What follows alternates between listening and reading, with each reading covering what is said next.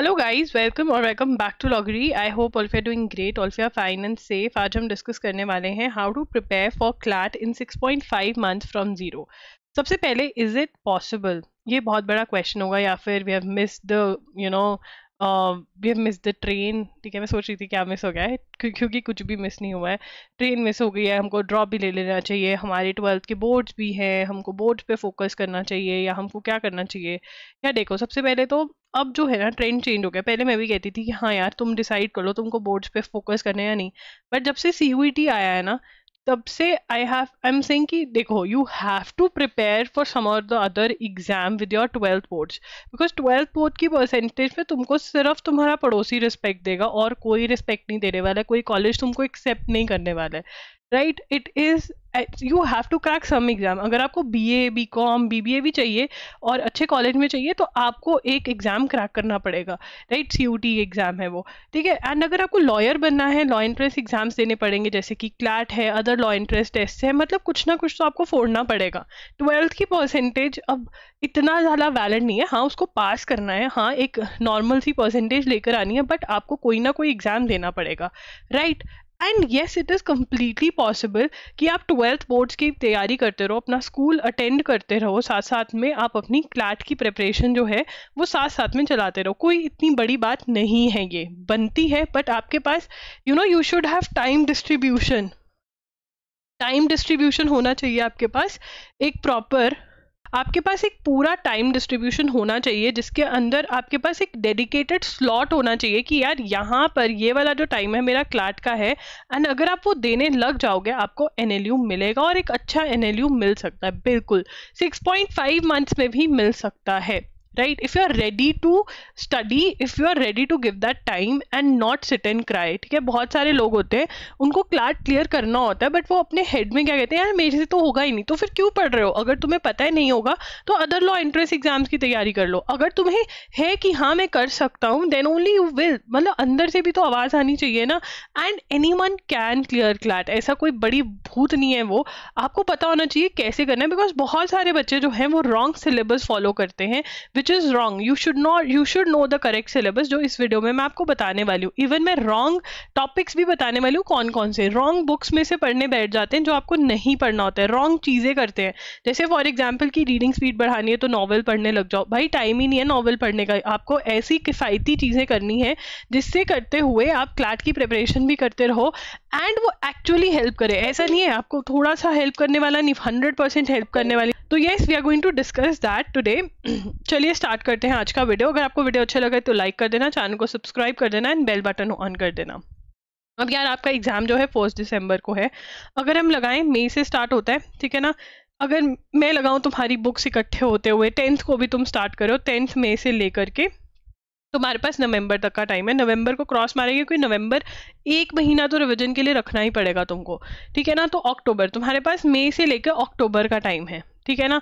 तो मतलब twenty days मे के लगा लो और बाकी तुम्हारे पास जून जुलाई अगस्त सितंबर अक्टूबर ठीक है ना? तो फाइव मंथ्स ट्वेंटी डेज़ के अंदर तुमको सब कुछ करना है, ख़त्म। ठीक है सिलेबस जिसके अंदर तुम सिलेबस ख़त्म करने को क्या मानोगे? जिसके अंदर तुम अंडरस्टैंडिंग करते हुए अपनी कॉन्सेप्ट क्लैरिटी करोगे टॉपिक्स की, ठीक है? तुम एम प्रैक्टिस करोगे और तुम इसके साथ साथ थोड़ी थोड़ी रिविजन भी मारते रहोगे और फुल फ्लेज रिविजन के लिए एक महीना तुमने रखा हुआ है। दिस इज़ बेयर मिनिमम हो सकता है, कर सकते हो, कोई बड़ी बात नहीं है। क्लैट के सिलेबस टॉपिक्स जो है ना, वो बहुत कम है, ठीक है? अगर आप अच्छे से भी करते हो, तब भी बड़े आराम से सिलेबस हो जाएगा। मैं आपको प्लान दिखा दूँगी। अभी प्लान भी डिस्कस करेंगे हम बट उससे पहले मैं सिलेबस डिस्कस करना चाहती हूँ। देखो यार इंग्लिश के अंदर रीडिंग कॉम्प्रीहेंशन आएगा, ठीक है ना? रीडिंग कॉम्प्रीहेंशन में inference main idea orders main purpose passage can be termed as tone of passage central idea figures of speech जैसे क्वेश्चन आते हैं कंक्लूजन ये सारे आपके टॉपिक्स हैं। मतलब ये मान लो कि टेन टॉपिक्स हैं इंग्लिश के ये आपको करने एक एक टॉपिक उठाओगे, उसकी रिसर्च करोगे गूगल पे। कोई बुक नहीं उठानी है पढ़ने के लिए गूगल से रिसर्च करोगे। लॉगरी डॉट कॉम पर एक पीडीएफ मैंने दिया हुआ है, उसको डाउनलोड करके रखो, उसमें से पढ़ लोगे कि आज इन्फ्लुएंस वाले क्वेश्चन करें, क्या टिप्स एंड ट्रिक्स है। गूगल में से ढूंढोगे, अपने नोट्स बना लोगे, अब इन टिप्स एंड ट्रिक्स को अप्लाई करोगे। अप्लाई कैसे करोगे? क्वेश्चन कहाँ से लाओगे? P Y Qs of CLAT and AILET की बुक ले लेनी है। P Y Qs and of CLAT and AILET की बुक बहुत हेल्प करेगी। ठीक है, यहाँ से ढूंढना कि डिफरेंस वाला क्वेश्चन कहाँ पर है, उसको सॉल्व करना है और सिर्फ़ सॉल्व करके ये नहीं ओ ये आंसर है येस येस येस मैं जीत गया। नहीं, आपको रीजन बेस्ड आंसरिंग करनी है। You have to check the reason अगर रीजन सही नहीं है तो जाओ वापस पैसेज पे, जाओ दोबारा क्वेश्चन पे। मैंने ये सोचा था, इसने ये बोला अच्छा ऐसा that is what you have to do अगर आप ये करोगे ना तो एंड में बच्चों को पता क्या प्रॉब्लम आती है? कि हमने बहुत आरसी सॉल्व करे, ये किया, वो किया, हम तो हर रोज़ दस आरसी प्रैक्टिस कर रहे थे बट अब क्या हो रहा है हमको? दो ऑप्शन तो हम क्रॉस आउट कर पा रहे हैं बट हम दो में फंस रहे हैं। वो दो में इसलिए फंस रहे हो क्योंकि कॉन्सेप्ट क्लैरिटी नहीं है। तो कॉन्सेप्ट क्लैरिटी पे काम करना है। ठीक है? फिगर्स ऑफ़ स्पीच भी टॉपिक है वोकेबलरी जो है, देखिए आपको खुद की लिस्ट बनानी है। आपको खुद की लिस्ट बनाए, ये कैसे होगा? आप देखो, अपनी रीडिंग स्पीड पे हम ना टाइम मैनेजमेंट में डिस्कस करेंगे कि आप अपनी रीडिंग स्पीड के लिए एडिटोरियल्स पढ़ोगे खुद से। एंड एडिटोरियल्स जब पढ़ोगे, तब आपको फाइव वर्ड्स हर रोज नए फाइव वर्ड्स जो भी मिलेंगे, वो पढ़ने अगर एडिटोरियल पढ़ते हुए नहीं मिले तो एजुगिरी का जो सेशन है न्यूज़पेपर एनालिसिस का, वहाँ पर मैं नोट्स बनवाती रहती हूँ, मैं लिखवाती रहती हूँ कि यार ये नए वर्ड्स हैं, ये लिख लो। वो वाले काम आएँगे। क्यों? वोकेबलरी लिस्ट नहीं काम आएगी नॉर्मल लुएस नहीं काम आएगी। ना ही टाइम है। सिक्स पॉइंट फाइव मंथ्स में नॉर्मल लुएस नहीं कर सकते। जिसके पास टू ईयर्स का टाइम है ना, वो नॉर्मल लुएस पड़ेगा इतने महीने में नॉर्मल लुएस तुम्हारा कुछ नहीं निकालने वाली है। लर्निंग वोकेबलरी लिस्ट कोई फ़ायदा नहीं होने वाला, क्योंकि सोर्स क्या है? क्वेश्चन का जो पैसेज आता है, उसका सोर्स क्या है? न्यूज़ पेपर जर्नलिस्टिक सोर्सेज हैं, जो करंट चल रहे हैं। तो आपको करंट वोकेबलरी चाहिए। करंट वोकेबलरी की कोई लिस्ट नहीं होती है। ठीक है? आपको खुद ही बनानी पड़ती है। ग्रामर करने का कोई फ़ायदा नहीं है। ये subject subject verb agreement tenses कुछ नहीं करना है। बस ये अच्छे से कर लो, इसकी प्रैक्टिस कर लो विद रीजन बेस्ड प्रैक्टिस कर लो and once you are done with all the topics back to back five question solve करो, हर रोज for good number of days ten fifteen days ठीक है? उसके बाद लीगल रीजनिंग कैसे करना है? लीगल रीजनिंग के अंदर देखो यार, आपको यहाँ पर अंडरस्टैंडिंग के लिए पढ़ रहे हो आप चीज़ें।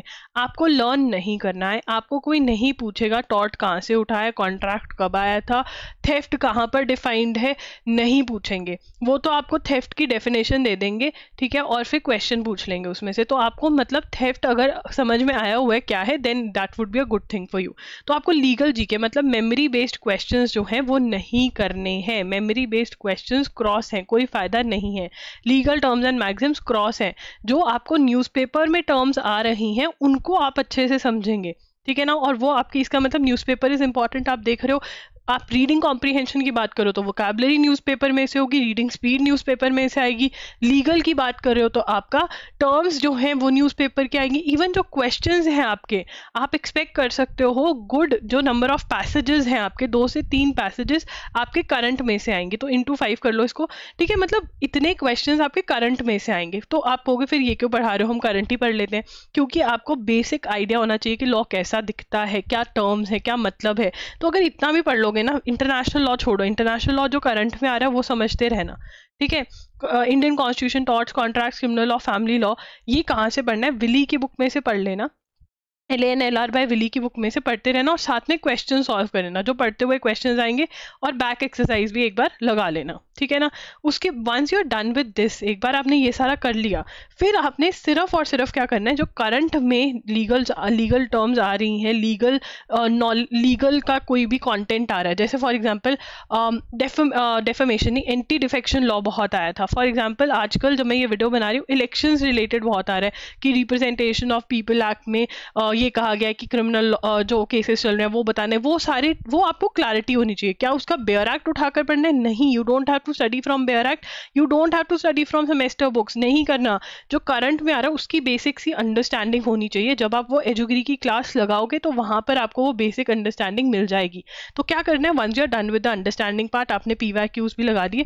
फिर क्या करना है आपको? करंट जो चल रहा है, उसका ध्यान रखना है। प्लस प्लस आपको प्लस क्या करना है मॉक टेस्ट लेने हैं ऑनलाइन मॉक टेस्ट लेने हैं और वो सॉल्व करते रहने लीगल के क्वेश्चन अभी अगर कुछ और नहीं हुआ है, तुम्हारा लीगल ही हुआ है तो लीगल के क्वेश्चन लगाते रहो, ठीक है ना?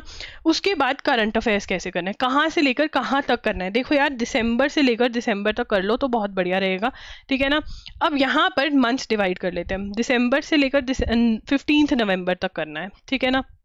यस ये पंद्रह दिन ऑफ़ नवंबर में से क्वेश्चन आएँगे। पाँच क्वेश्चंस लगा के चलो यार नहीं छो, छोड़ सकते इसको।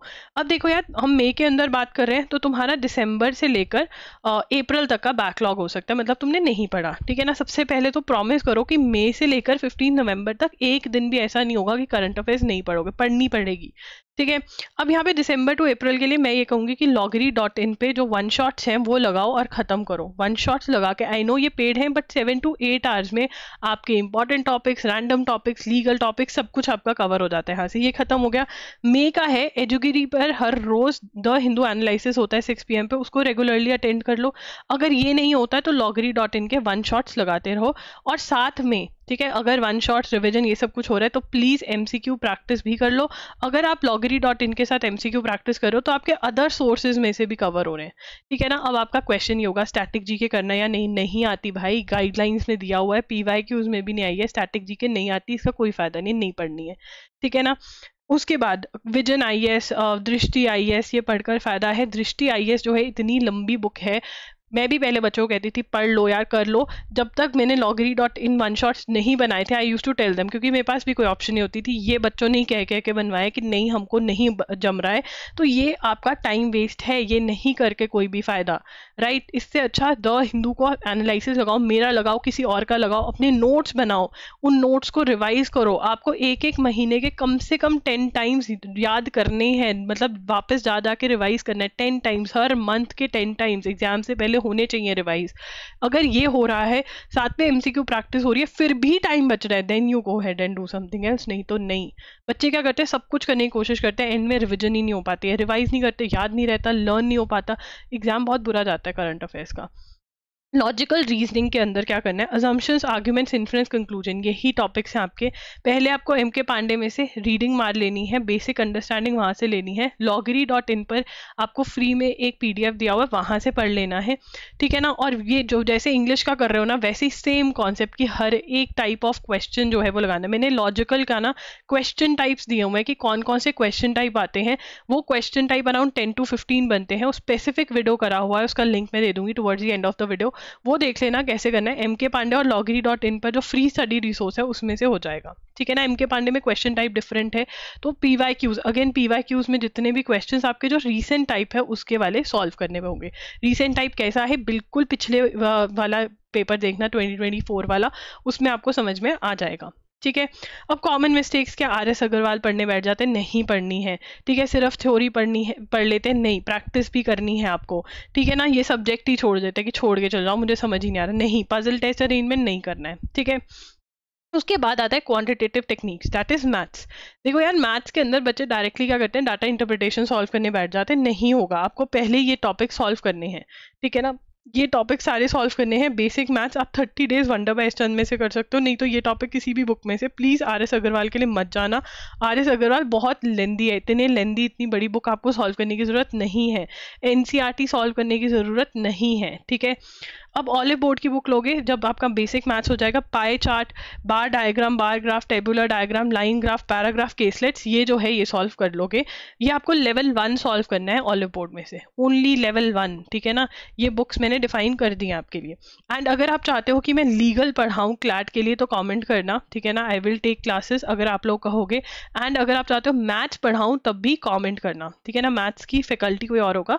बट अगर आप चाहते हो कि पढ़ाएँ तो देन यू कैन कॉमेंट अब यहाँ पर टाइम मैनेजमेंट कैसे करना है? तुम स्कूल जाओ, तुम वो जो मर्ज़ी करो क्लाट के लिए मिनिमम फोर आवर्स चाहिए होंगे। और ये सेल्फ स्टडी है।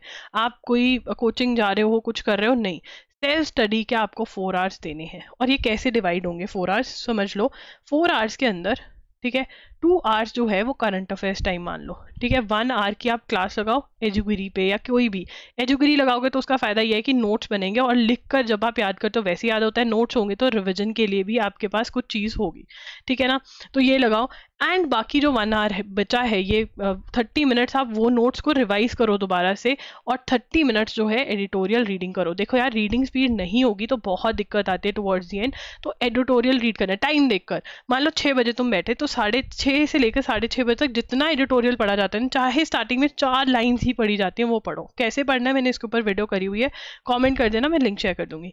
ठीक है? टू आवर्स तो तुम्हारा ये हो गया, जिसमें तुम्हारी reading speed current affairs notes revise हो रहे हैं।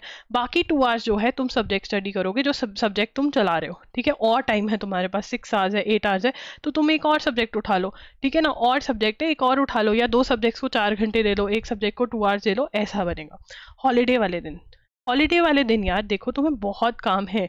तुम्हें करंट अफेयर्स भी रिविजन करना है। सब्जेक्ट भी रिवाइज करना है क्वेश्चंस भी अटेम्प्ट करने हैं करंट अफेयर्स के सारे तो तुम अपना जो हॉलीडे है, उसको प्लान करोगे। ये नहीं कि टेबल पे बैठ के, यार, ये भी करना है, बहुत ही डिफ़िकल्ट है, ऐसे माथे पे हाथ रख के बैठो, कोई फ़ायदा नहीं है। इससे अच्छा प्लान करो। तुम्हारा एक्स्ट्रा वर्क क्या है? देखो, जब जब तुम्हारे legal reading comprehension logical current हो जाएँगे तो तुम्हें क्वेश्चन प्रैक्टिस करना रहेगा। तो उसके लिए मॉक टेस्ट उठाना और सॉल्व करते रहना। जो जो क्वेश्चन जो जो पार्ट्स हो रहे हैं, वो वो सॉल्व करो, ठीक है ना? एंड उसके बाद वो प्लान करना पड़ेगा कि आज मैं ये सॉल्व करूँगा। रिवाइज करना है करंट अफेयर्स ठीक है ना? जैसे फॉर एग्ज़ाम्पल तुम्हारा मे का हो गया, जनवरी का तुमने कवर कर लिया मे के अंदर, जून के अंदर जाके तुम मे जान को रिवाइज करोगे, नहीं तो भूल जाओगे, कोई फ़ायदा नहीं। वो कैबलरी के जो पाँच ईच याद करो, वो भी रिवाइज करने हैं। लीगल करंट अफेयर्स के जो कॉन्सेप्ट है, मान लो रिप्रेजेंटेशन एक्ट के अंदर कुछ चल रहा है सेक्शन थर्टी थ्री की बात हो रही है, ठीक है? तुम्हें समझ नहीं आया तो तुम गूगल करोगे अच्छा सेक्शन थर्टी थ्री क्या है? थोड़ा सा रीड अप करोगे उसके ऊपर। इसके लिए भी टाइम निकालना पड़ेगा तो यू हैव टू सी कि क्या क्या काम है। तो इसकी लिस्ट बना के रख लो, अपना एक कॉपी लगा लो, उसके अंदर लिस्ट बना के रखो कि हाँ ये काम मेरे करने वाले उससे क्या होगा कि जब तुम बैठोगे तो तुम्हारा कुछ तो करोगे ना, तुम एंड ऐसे ही धीरे धीरे करके बहुत चीज़ें हो जाएँगी। तो हॉलीडे वाले दिन जो है, वो तुम्हें ये सारी चीज़ें करनी चाहिए और ट्राई करो कि सब्जेक्ट स्टडी भी हो जाए करंट अफेयर्स तो करना ही है। अगर हम प्लान की बात करें तो कैसे पढ़ना है? देखो यार, अगर आप सिक्सटीन से भी स्टार्ट करो, वैसे सिक्सटीन से क्यों स्टार्ट करना है? टेंथ से ही स्टार्ट करो, जल्दी स्टार्ट करो, आज से ही स्टार्ट करो, जब ये वीडियो देख रहे हो। पहले रीडिंग मारनी है टॉर्च की अंडरस्टैंडिंग बेस्ड टॉर्च के क्वेश्चन सॉल्व करने हैं जिसमें पी वाई क्यूज भी सॉल्व हो जाएँगे और अगर मॉक टेस्ट है जिसके अंदर फ्रेश करंट वाले क्वेश्चन हैं वो भी सॉल्व कर दोगे। पाँच दिन तो बहुत होते हैं इसके लिए। उसके बाद ऐसे ही पूरा लीगल आपका खत्म हो जाएगा। पूरा लीगल ऐसे ही करना है। मतलब थोड़ी सी मार्किंग भी कर मार्क, मार्किंग पूरी करनी है मतलब बुक के अंदर ही मार्किंग कर लेनी है सो दैट रिविजन बढ़िया हो जाए। साथ साथ में मे के अंदर बैकलॉग निकालना है। कोई भी दो मंथ एनी टू मंथ्स उठा लो और बैकलॉग पूरा कर लो, ठीक है? अगर वन शॉट लगाओगे तो बहुत ही सारे के सारा बैकलॉग भी मे में ख़त्म कर सकते हो। और मे का जो साथ साथ चल रहा है, वो तो चलाना ही है। बैकलॉग करंट अफेयर्स का अब नहीं होना चाहिए। उसके बाद आ जाएगा आपका जुलाई जुलाई के अंदर आप रीडिंग कॉम्प्रीहेंशन कर रहे हो, ठीक है ना? जैसे मैंने बताया पाँच पाँच दिन दे रही हूँ एक एक क्वेश्चन को, कितने आराम से हो जाएगा। ठीक है ना? उसके बाद आपकी रीडिंग कॉम्प्रीहेंशन की प्रैक्टिस चलेगी दस दिन, जिसके अंदर five are back to back solve करोगे। और टाइम बच रहा है, पाँच आर और लगा दो। और टाइम बच रहा है, ऐसे करना है, ठीक है? उसके बाद आप सेप्टेम्बर में बेसिक पढ़ोगे एम के पांडे से लॉजिकल का एंड फिर बुक जो है बुक में से आप लगाओगे, जो लॉगरी डॉट इन पे एल की बुक शेयर करी हुई है, उसमें से आप पढ़ोगे। अब यार प्रॉब्लम ये है कि नवंबर को हमको रिविजन के लिए फ्री रखना है नवंबर को हमको मॉक टेस्ट के लिए फ्री रखना है तो हमारे पास मैथ्स के लिए टाइम नहीं बच रहा, बहुत क्लियर कट है। ठीक है? तो मैथ्स जो है ना, वो हमें या तो जून की अगर हॉलीडेज हो रही हैं, ठीक है ना? बहुत बच्चों को जून की हॉलीडेज होंगी तो मैथ्स जून में निपटा करके साइड बाय कर देना। जो मैथ्स क्या है? एक आधा और सब्जेक्ट उठा लेना। जून में अगर हॉलीडेज है किस किस की हॉलीडेज है कमेंट कर दो, उसके लिए मैं अलग प्लान बना दूँगी। ठीक है? जून की हॉलीडेज में कर देना। नहीं तो you will have to take one month off या वन मंथ एक्स्ट्रा या फिर अगर आप हर रोज वन आवर एक्स्ट्रा मैथ्स को दे सकते हो तो वो करना पड़ेगा। तो मैथ्स जो है you have to keep in mind कि मुझे करना है। छोड़कर नहीं जाना मैथ्स क्योंकि हमेशा एक या दो सेक्शंस होंगे जो डिफ़िकल्ट होंगे, ठीक है? अगर मैथ्स इजी आ गया तो कोई और डिफ़िकल्ट है तो मैथ्स में से आप अपने मार्क्स इकट्ठे कर सकते हो। So that is what you need to do ठीक है? कौन कौन जो है ये चैलेंज एक्सेप्ट कर रहा है? कौन कौन कह रहा है कि हाँ भाई, हम पढ़ेंगे। ठीक है? अब आपने क्या करना है? What should be your next step immediately after watching this video सबसे पहले नंबर वन जो सिलेबस वाला वीडियो मैंने करा हुआ है, वो देखोगे और नोट्स बनाओगे। आपके पास लिस्ट होना चाहिए कि आपने क्या करना है। फिर इस वीडियो में से जो टाइम टेबल है, वो नोट डाउन करोगे और फिर खुद का टाइम टेबल बनाओगे कि मैं अपने आप से प्रॉमिस करोगे, इससे इस टाइम में मैं ये करूँगा और आने वाले एटलीस्ट जो मे का मंथ है, उसका टाइम टेबल बनाओगे। डिसाइड करोगे कि करंट अफेयर्स में कौन से बैकलॉग में करूँगा लीगल की जो बुक है, वो ऑर्डर करोगे। ठीक है? ये सब कुछ लीगल की पी वाई क्यूज ये कि मेरा इस दिन तक ये इतना टॉपिक हो जाएगा, इतना टॉपिक हो जाएगा, ये डिसाइड आपको करना। बुक में से देख के करोगे तो बढ़िया हो जाएगा कि डिसाइड कर लोगे प्लस टू कर लेना हर टॉपिक के लिए। ठीक है, ये टाइम टेबल बनाना है और थर्ड चीज़ जो करनी है वो है मोटिवेटेड रहना है। कभी भी ऐसे नहीं सोचना, मेरे से नहीं हो सकता कुछ भी। एंड एक और चीज़ जो करनी है सब्जेक्ट स्टार्ट करने से पहले जो पर्टिकुलर वीडियोज़ करी हुई है वो देख लेना। इसकी प्ले है, ये पूरी प्ले है। ठीक है ना, कि अच्छा लीगल की कैसे करना है, पढ़ाई सिलेबस वाली वीडियो ये है तो अगर आप ये वीडियोस देख लेंगे तो आपको बहुत बहुत हेल्प मिल जाएगी। कोई भी डाउट है तो आप कमेंट कर सकते हैं। You can also message me on Instagram at I am लॉगरी के नाम से हूँ। बिल्कुल फ्री ऑफ़ कॉस्ट आपका मैसेजेस का रिप्लाई होता है वहाँ पर इंस्टाग्राम पर। एंड क्वेश्चन आर भी अटेंड कर सकते हो।